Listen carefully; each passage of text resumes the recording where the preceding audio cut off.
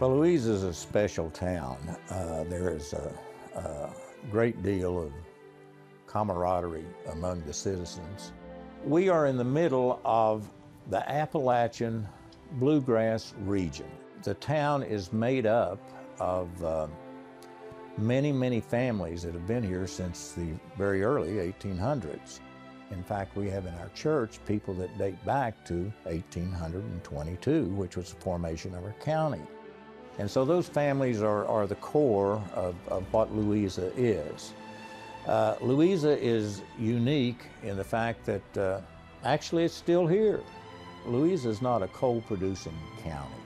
During its, uh, say, 1920, it produced a million barrels of oil a year, which was the basis for the foundation of the Ashland Oil Company. Louisa really has a population of about 7,500 to 8,000.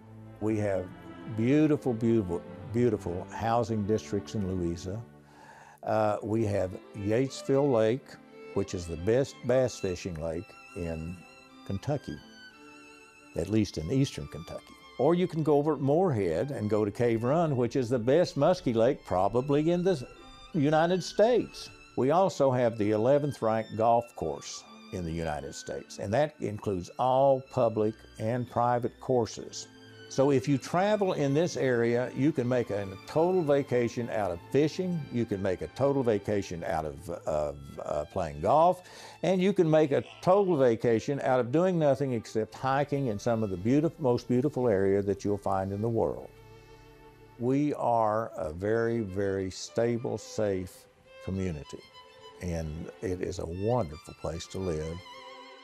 If you come to Louisa, you must see the Louisa Fort Gay Bridge. The bridge connects two states, two cities. It crosses three parcels of land, and you can turn right in the middle. So I have never seen or heard of another uh, bridge like that, and it was featured in uh, Ripley's Believe It or Not.